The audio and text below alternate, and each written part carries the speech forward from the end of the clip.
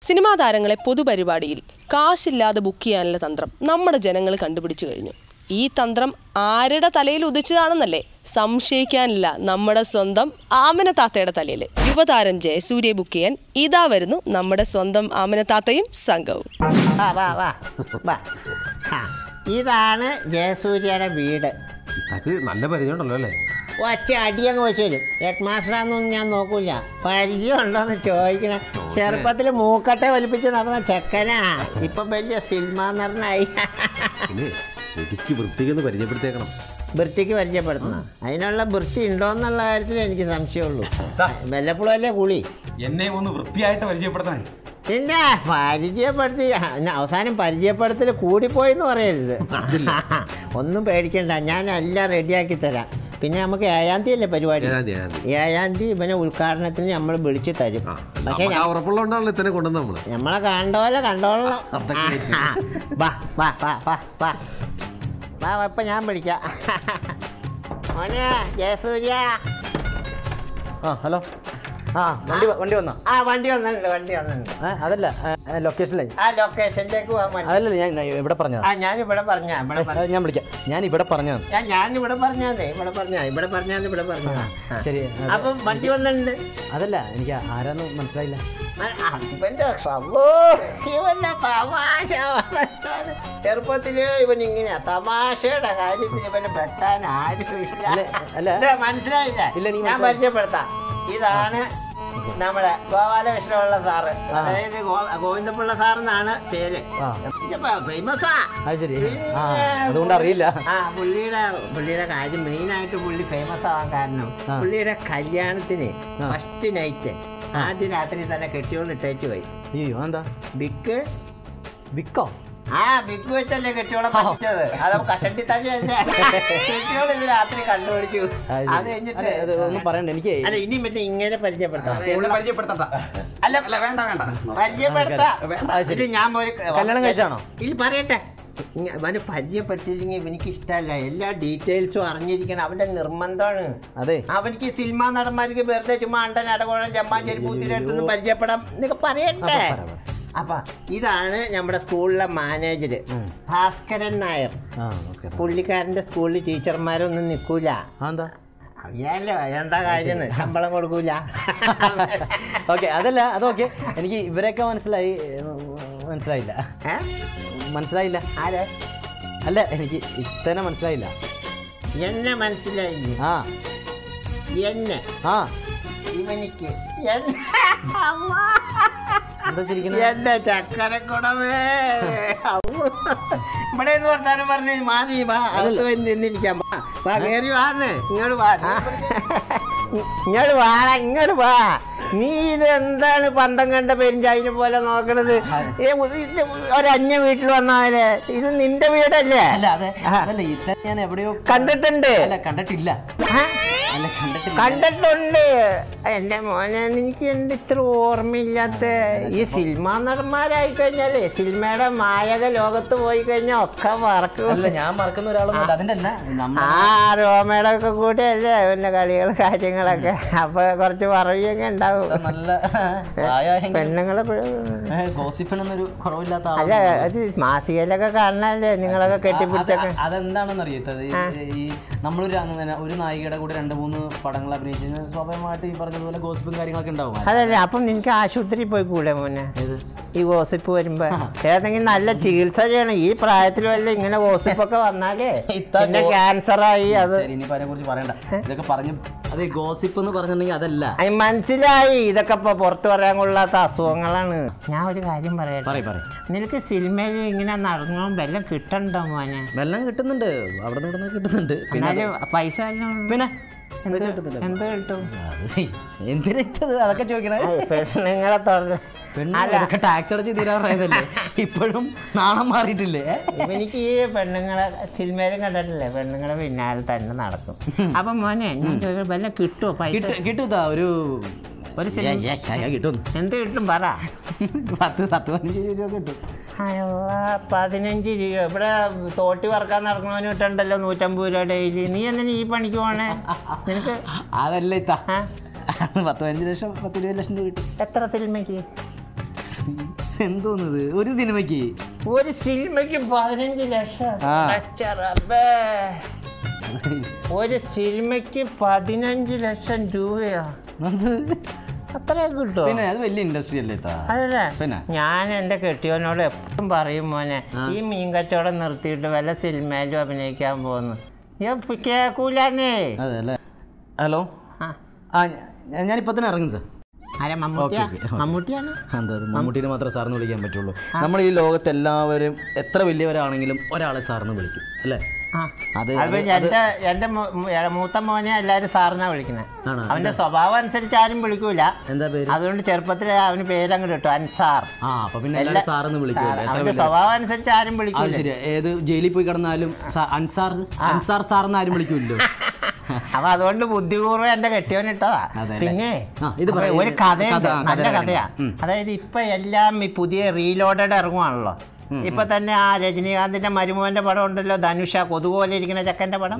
കേക്കണ്ട. ആ പഠിക്കാത്തവൻ എന്നും പറഞ്ഞിട്ട്. ആ പഠിക്കാത്തവൻ. അതിന്റെ രണ്ടാം ഭാഗം മൂന്നാം ഭാഗം പഠിക്കാത്തവൻ നനയ്ക്കാത്തവൻ കുളിക്കാത്തവൻ പെടുക്കാത്തവൻ എന്നൊക്കെ പറഞ്ഞ് പറഞ്ഞു ഇപ്പൊ നമുക്ക് ഈ ചെമ്മീന്റെ രണ്ടാം ഭാഗം എടുക്കാം. അപ്പൊ കഥ പറയട്ടെ ഞാൻ. കഥ പറയേ കഥ അതായത് ഇപ്പൊ എല്ലാത്തിന്റെ റീലോഡഡ് വരുവാണല്ലോ. സാഗർ ഇലിയാസ് ജാക്കി റീലോഡഡ് ഇപ്പൊ അതെ ചെമ്മീൻ റീലോഡഡ് നമ്മുടെ കഥയുടെ പേരാ. ചെമ്മീൻ ഇത് ചെമ്മീന്റെ രണ്ടാം ഭാഗം റീലോഡഡ് അതെങ്ങനെ നടക്കും മധു സാറും ശീലമയൊക്കെ മരിച്ചില്ലേ?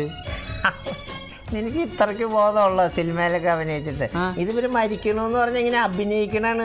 മധുശീലൊന്നും മരിച്ചില്ല. എന്നാളോടെ ഞാനൊരു അവാർഡ് പരിപാടിക്ക് ഉണ്ടല്ലോ എന്റെ പൊന്ന് ഇത്ത അതല്ല ഉദ്ദേശിച്ചത്. അവർ ആ ക്യാരക്ടർ മധു സാറും ശീലാമ്മയും പരീക്കുട്ടിയൊക്കെ മരിച്ചല്ലോ. അതിൽ മരിച്ചതായിട്ട് ഇങ്ങനെ കിടക്കണല്ലേ ഉള്ളൂ. കടപ്പുറത്ത്. മരിച്ചു എന്ന് പറയാൻ ആരെങ്കിലും വന്ന് ടെസ്റ്റ് ചെയ്ത് നോക്കിയോ? ഇങ്ങനെ കൈ പിടിച്ചു നോക്കിയിട്ട് ഹീസ് നോ മോർ എന്നൊക്കെ പറയൂല? അങ്ങനെയൊന്നും പറഞ്ഞിട്ടില്ല. അത് പറയാത്തോടത്തോളം കാലം രണ്ടാം ഭാഗത്തിനുള്ള സ്കോപ്പ് ഉണ്ട്. അതായത് ഈ രണ്ടാം ഭാഗം തുടങ്ങുമ്പോൾ തന്നെ അഞ്ച് ആംബുലൻസ് ഇങ്ങനെ ഇടിച്ചു പൊളിച്ച് അങ്ങോട്ട് വരുവാണ് കടപ്പുറത്തേക്ക്. ആദ്യം വന്ന ആംബുലൻസ് അല്ല ഒരു മിനിറ്റ്. അഞ്ച് ആംബുലൻസ്? അഞ്ച് പറയട്ടെ? പറയട്ടെ ഒരു പടാവുമ്പത്തിന് ഇത്തിരി റിച്ച് ആവണ്ടേടാ എന്നാൽ പടം കലക്കണ്ടേ? അഞ്ച് ആംബുലൻസ് അങ്ങോട്ട് ആദ്യം വന്ന ആംബുലൻസിന്റെ അകത്ത് കർത്തമ്മനെ കയറ്റി കൊണ്ടുപോയി. രണ്ടാമത് വന്ന ആംബുലൻസിൽ പരീക്കുട്ടീനെ മൂന്നാമത് വന്ന ആംബുലൻസിൽ കരക്കാരെ. നാലാമത് വന്ന ആംബുലൻസിൽ പളനി. അതായത് കർത്തമ്മയുടെ കെട്ടിയോൻ അപ്പൊ അഞ്ചാമത്തെ ആംബുലൻസിൽ ആരെയും പോകും അഞ്ചാമത്തെ ആംബുലൻസ് വെറുതെ കിടക്കില്ല? അതിൽ ആര് പോകും? അഞ്ചാമത് വന്ന ആംബുലൻസിൽ ആളെ കയറ്റുന്ന നിർബന്ധമാണ്. പിന്നെ അല്ലാതെ? എന്നാ പിന്നെ താൻ കയറി പോക്കോ. ഏ? പിന്നെ കേട്ടോ ഒരു കഥ പറഞ്ഞതിന്റെ ഇടയ്ക്ക്. അപ്പം ഇവരിക്കൊന്നും കഥേനെ കുറിച്ച് വിവരമില്ല. അതായത് ഈ അഞ്ചാമതും അങ്ങനെ അവരൊക്കെ ആശുപത്രി ചെന്ന് കഴിയുമ്പോഴത്തേക്ക് പെട്ടെന്ന് കറുത്തമ്മയുടെ ബോധം വന്നു. ഇപ്പോഴത്തെ സാങ്കേതിക വിദ്യ അല്ലേ മോനെ പണ്ടത്തെ പോലെയല്ലോ. ആശുപത്രിയിലെ ഓക്സിജൻ ഒക്കെ കൊടുക്കാമല്ലോ അപ്പൊ തന്നെ നമ്മുടെ പരീക്കുട്ടിക്കും ബോധം വന്നു. പിന്നെ. അങ്ങനെ പിന്നെ അതിനിടക്കാണ് പളഞ്ഞ് ചായ മേടിക്കാൻ വേണ്ടി പുറത്തു പോകണത് കറുത്തമ്മയുടെ കെട്ടിയോ ഈ സമയത്ത് പരീക്കുട്ടിയും കറുത്തമ്മയും കൂടെയും കൂടിയിട്ട് വീണ്ടും ആശുപത്രിയിൽ വെച്ച് കല്യാണം കഴിച്ചു. മനസ്സിലായ? അപ്പോ കല്യാണം കഴിച്ചോട് കൂടിയിട്ട് കറുത്തമ്മ വീണ്ടും ഗർഭിണിയാവുന്നു. അതോടുകൂടി ആ സിനിമയുടെ പേര് തന്നെ അന്വർത്ഥമാവുകയാണ്. കറുത്തമ്മ റീലോഡഡ് അതായത് ചെമ്മീൻ റീലോഡ് എങ്ങനെയുണ്ട്? ഗംഭീരം. അവിടെ കയ്യടിയായിരിക്കും. ആ പിന്നെ കൈയടിയായിരിക്കും ഈ സിനിമയിൽ ഈ പെണ്ണുങ്ങളെ തൊട്ടൊക്കെ അഭിനയിക്കണ്ടല്ലോ? അതെ. അത് ശരിക്കും തുടർന്നതാണോ? പിന്നെ ശരിക്കും തൊട്ടൊക്കെ അഭിനയിക്കാം അഭിനയിക്കേണ്ടി വരും. അതെ അതെ. ഈ റോമേനെ സമ്പ്രദായനെയൊക്കെ നീ ഇങ്ങനെ തൊടുവോ? പിന്നെന്താ? അച്ഛനെ. അപ്പൊ നിന്റെ കെട്ടിയോ കെട്ടിയോക്ക് ബുദ്ധിമുട്ടില്ലേ? എന്ത് ബുദ്ധിമുട്ട്? അവർക്ക് അറിയാലോ അത് അഭിനയമാണെന്ന് അറിയാലോ. അത് പ്രൊഫഷണൽ അല്ലേ? ജോലിയല്ല? അപ്പോൾ കെട്ടിയോമാർക്ക് ബുദ്ധിമുട്ടില്ലേ? കെട്ടിയമാർക്കാ ആ ഈ നടിമാരുടെ കെട്ടിയോമാർക്ക് ഇല്ല അവർ കെട്ടിയിട്ടില്ല. കെട്ടിക്കഴിഞ്ഞാൽ ചിലപ്പോൾ കുഴപ്പമാകുമല്ലോ. അല്ല ഞാൻ ചോദിക്കട്ടെ അപ്പോൾ ഈ ഇടിസീനിൽ എങ്ങനെയാ? നിങ്ങൾ തൊട്ട്. ശരിക്കും ഇടിക്കും? അയ്യോ ശരിക്കും ഇടിക്കണ ഇങ്ങനെ അത് ജസ്റ്റ് ഇങ്ങനെ. അത് അഭിനയം. ആ, ശരി. ഇടിസീനിൽ നിങ്ങൾ തൊടൂല. അപ്പൊ പാട്ട് സീൻ വരും. നായികമാരാകുമ്പോ തൊടുവൻ പിടിക്കുകയൊക്കെ ചെയ്യും. ഇവരാൾ കൊള്ളാല അമ്പടം മിടുക്കന്മാരെ മനസ്സിലായി മനസ്സിലായി. മക്കളില്ലേ മക്കൾ? ആ അയ്യോ ഒരു ഒരുത്തരുണ്ട് അതല്ലേ. എന്ത് ചെയ്യണം? അവൻ അവിടെ ഇരുന്ന് ടി വി കാണണം ഇപ്പൊ പിള്ളേർക്കൊക്കെ ടി വി ആണല്ലോ. അതേ മോനെ ആ മറ്റേ ചാനൽ കാണിക്കില്ല കേട്ടോ. എ കാണിക്കാം ബി കാണിക്കാം മറ്റേ ആ എഫ് കാണിക്കല്ലേ? എന്നിത്താ പണി കിട്ടിയതാണ് കഴിഞ്ഞ ദിവസം. പറഞ്ഞപ്പോഴാണ് ഓർത്തത്. ഈ ചെറുക്കൻ ഞാനിരുന്ന് ടി വി കണ്ടോണ്ടിരിക്കുകയായിരുന്നു. ടി വി കണ്ടോണ്ടിരുന്ന് ഇങ്ങനെ ഞാനിരുന്ന് ഇങ്ങനെ ഓരോ ചാനൽ മാറ്റിക്കൊണ്ടിരുന്ന പിന്നെ തൊട്ടടുത്ത് ഞാൻ നോക്കി വൈഫും ആരുമില്ല കൊച്ചുമില്ല. ആ. അപ്പം ഞാൻ വെറുതെ നമ്മുടെ എഫ് ചാനലുണ്ടല്ലോ. എഫ് ചാനലിട്ട് കണ്ടോണ്ടിരിക്കുകയാണ്. കണ്ടുകൊണ്ടിരുന്നപ്പോൾ കണ്ടോണ്ടിരുന്നപ്പോൾ ചങ്ങാതി കയറി വന്നു. ആര്? മോൻ മോൻ കയറി വന്നു. എന്താ കാണണേ ഞാൻ പറഞ്ഞു "ആ, ആ, മോനെ അത് അറിയ ഒന്നും ചെയ്യാൻ പറ്റണല്ലോ കാരണം ഇതെന്തോ ബാറ്ററി ആണോ എന്താണെന്നറിയില്ല അത് മാറ്റാനും പറ്റുന്നില്ല. ഗുലുമാലായിപ്പോയി. ഞാൻ പറഞ്ഞു മോനെ അത് ആർക്കും എന്ന് വെച്ച് ഞാൻ പറഞ്ഞു മോനെ അത് എന്താണെന്നറിയടാ അത് ഭയങ്കര പാവങ്ങളടാ തുണി മേടിക്കാൻ പോലും കാശില്ലടാ. എന്താ കണ്ടല്ലേ പാവങ്ങൾ. അങ്ങനെ എന്നിട്ട് അവൻ ഇപ്പം പറഞ്ഞിട്ട് പോവാ. ആ. ഇതിനേക്കാളും പാവങ്ങളെ വന്നാ വിളിക്കണേ. എന്നും പറഞ്ഞു പോയേക്കണ്. നിന്റെ അല്ലേ മോൻ മോശമാവോ? സത്യം ദൈവമേ നെഞ്ചത്ത് കൈവച്ച് പോയി. പേടിയാണ് ഇപ്പൊ. പേടിയാണല്ലേ ഇപ്പോഴത്തെ പിള്ളേരെ പേടിക്കണം മോനെ. അതെ, അല്ലാ എന്റെ മോനൊരാളുണ്ട്. അവനെന്ത് അവൻ എന്ത് ചെയ്യണം? അവനെ നീ അറിയുമായിരിക്കും. ഈ സിനിമയിലെ ജൂനിയർ ആർട്ടിസ്റ്റ് സപ്ലൈ ഷുക്കൂർ അത് ശരി. ഷുക്കൂറിന്റെ ഉമ്മച്ചിയാണ്. ഒറ്റ പൈസ ഷുക്കൂറിന്റെ. ഇപ്പളാ ഇവർ മനസ്സിലായിരുന്നു അത് പറ. നമുക്ക് അന്നാ പുറത്തിരുന്ന് സംസാരിക്കായിരുന്നു. ഏയ് വേറെ ഒന്നല്ല അത് ചെറിയ പ്രശ്നമുണ്ട്.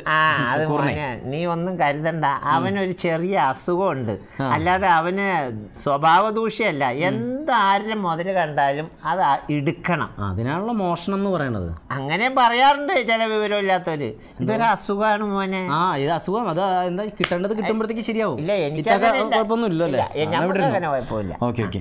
അപ്പൊ അല്ല വേറെ ഇപ്പൊ ഈ ഇവൻ എന്താ ചെയ്യണേ? കുറെ നാളെ മാത്രമേ ഇത്ര കല്യാണം കഴിച്ചു. എന്നിട്ട് രണ്ടു വർഷം കഴിഞ്ഞപ്പോ ഉപേക്ഷിച്ചു. അയ്യോ എന്തുറ്റി ഒരു ചൈനക്കാരിനെ കെട്ടിയത്.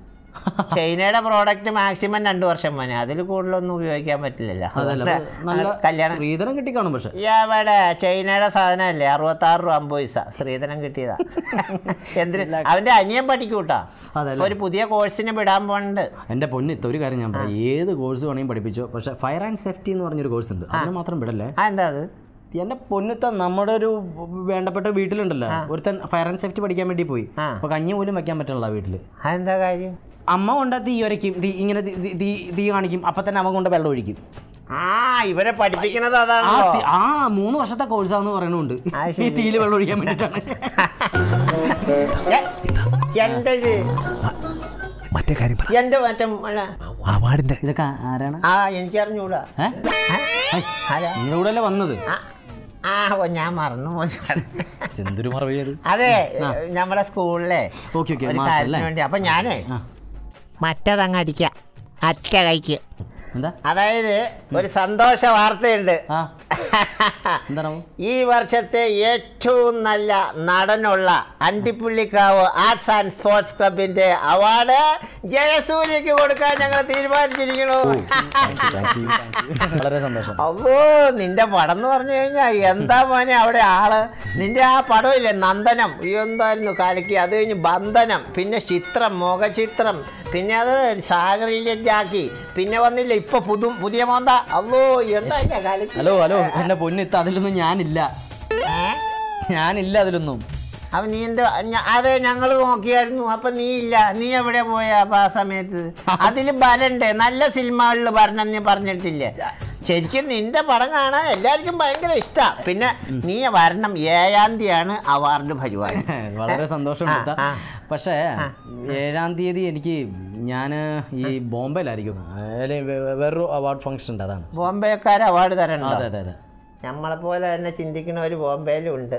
നിങ്ങളെ പോലെ സ്നേഹിക്കുന്നവരവിടെ ആ അതെ അതെ അപ്പം മോനെ ഇവിടെ വരുവാണെങ്കിൽ ബോംബെ പോലെ ബോംബെയിൽ എന്ന് പറഞ്ഞാൽ പോണതൊക്കെ സൂക്ഷിക്കണം. അവിടെ ഇപ്പം ഈ ഭീകരവാദികളൊക്കെ ഉള്ളതുകൊണ്ട് ഒരു ബോംബ് വീണാൽ വരും മോനെ. തീർന്നു. ജയസൂര്യ പിന്നെ ഉണ്ടാവില്ല അവാർഡ് മേടിക്കാൻ. അതിനേക്കാളും ഭേദം ഇതൊക്കെ അല്ലേ? അല്ല ഞാൻ പറയട്ടെ. ഞങ്ങളുടെ അവിടെ വരികയാണെങ്കിൽ വണ്ടിക്കൂലിയൊക്കെ തരാം. കാറിൽ കൊണ്ടുവന്ന് കാറിലാക്കാം. പിന്നെ കൂൾ ഡ്രിങ്ക്സ് ഒക്കെ തരാടാ. ഫോട്ടോ എടുക്കും. ഇല്ലേ പത്രത്തിലേക്ക് കൊടുക്കാം. ഞങ്ങളുടെ അവിടെ ഒരു പത്രമുണ്ട്. നപുംസകം എന്നും പറഞ്ഞ ആ പത്രത്തിൽ പടം വിടാന്ന് പറഞ്ഞിട്ടുണ്ട് അതിന്റെ അത് പത്രം ശരി. അത് ഇത്തവണ നടത്തണ? അല്ലല്ല അവിടെ വേറെ ഒരു വേണുഗോപാൽ എന്ന് പാർട്ടിയാണ് ആ ശരി, ശരി, പുള്ളിക്കാരനാ നടത്തണേ അല്ലേ അപ്പൊ വരുവാണെങ്കിലേ അല്ല എനിക്ക് വരണം എന്നൊക്കെ അതിയായ ആഗ്രഹം ഇതൊക്കെ. എന്താണെന്നറിയാം മെയിൻ ആയിട്ട് ഒരു അവാർഡ് ഒരാൾക്ക് കൊടുക്കാൻ തീരുമാനിച്ചിട്ട് ചില ആളുകളുണ്ട്. ആളെ കിട്ടാതാവുമ്പോ മമ്മൂട്ടിനെ കിട്ടിയില്ലെങ്കിൽ ഉടനെ മോഹൻലാലിന് ബെസ്റ്റ് ആക്ടർ ആക്കും. മോഹൻലാലിനെ കിട്ടിയില്ലെങ്കിൽ ഉടനെ എന്റെ അതെ. അങ്ങനത്തെ സ്വഭാവം ഞങ്ങൾക്കില്ല. അത് ശരിയല്ല അങ്ങനെ ചെയ്യണത്. അത് കറക്റ്റ് ആ അതുകൊണ്ടാണ് നിനക്ക് തരാന്ന് പറഞ്ഞാൽ നിനക്ക് തന്നെ തന്നിരിക്കണം. അല്ലാതെ പിന്നെ എന്താ നമ്മുടെ വാക്കിന് ഇത്ത തീർച്ചയായിട്ടും ആ സ്നേഹത്തിനൊക്കെ വളരെയധികം നന്ദിയുണ്ട്. പക്ഷെ എനിക്ക് എന്താ പ്രശ്നം എന്ന് അറിയാത്ത അവിടെ ഞാൻ ഓൾറെഡി ഏറ്റുപോയി സൈൻ ചെയ്തു പോയി. മൂന്ന് ദിവസം മുമ്പാണ് സംഭവിച്ചത്. അതുകൊണ്ടാണ് വരാൻ പറ്റാത്തതിന്റെ പേരിൽ അല്ലെങ്കിൽ മാക്സിമം ഞാൻ വന്നേനെ. ഉറപ്പായിട്ടും വരാൻ പറ്റും എന്തായാലും വരില്ല. സത്യമായിട്ട് ഇല്ലാത്തതുകൊണ്ടാണ് ഇത്ത. എന്നാ പിന്നെ നീ ആ കുഞ്ചാക്കോ ബോറിന്റെ നമ്പറും തന്നേരെ. കുഞ്ചാക്കോവന്റെ നമ്പറാ അല്ല കുഞ്ചാക്കോ ബോബൻ. എന്തിനാ കുഞ്ചാക്കോവന്റെ നമ്പർ അല്ല പിന്നെ എനിക്കിപ്പോ അവാർഡ് വേണ്ടാന്ന് പറഞ്ഞില്ല. എന്നാ പിന്നെ ആവ- ആവശ്യമുള്ളവർക്ക് കൊടുക്കാം. ഞാൻ അന്നേ പറഞ്ഞ ഇവനിക്കൊന്നും അവാർഡ് കൊടുക്കണ്ടെന്ന്. നിങ്ങൾക്കായിരുന്നു ജയശ്രീക്ക് കൊടുക്കാം ജയശ്രീക്ക് കൊടുക്കാം. ഇപ്പൊ മനസ്സിലായില്ലേ? അത് ശരി. അപ്പൊ നിങ്ങളല്ലേ കുറച്ച് മുമ്പ് പറഞ്ഞത്? ഒരാൾക്ക് വെച്ച അവാർഡ് വേറെ ആൾക്ക് കൊടുക്കാൻ പാടില്ല എന്നൊക്കെ? അത് പിന്നെ ഗതികെട്ടാ പുലി പുല്ലും തിന്നൂലേ. ഇപ്പൊ ഞങ്ങൾക്ക് പരിപാടി നടത്താണ്ടിരിക്കാൻ പറ്റുമോ ശരി ശരി. എന്നാ പുല്ല് തിന്നി. കാണാം. വളരെ സന്തോഷം കേട്ടോ. അപ്പൊ. എന്റെ വീട്ടിൽ നീ ആരാണ് നിങ്ങൾ ഇറങ്ങും. കാണാം കേട്ടോ. മനസ്സിലായില്ലേ? ഓക്കെ. അപ്പൊ ശരി മോനെ. ആ ശരി എന്നാ. അപ്പൊ അടുത്ത അവാർഡ് പറ്റുമോ അടുത്ത കൊല്ലം. എന്തൊരു കുരിശാണിത്.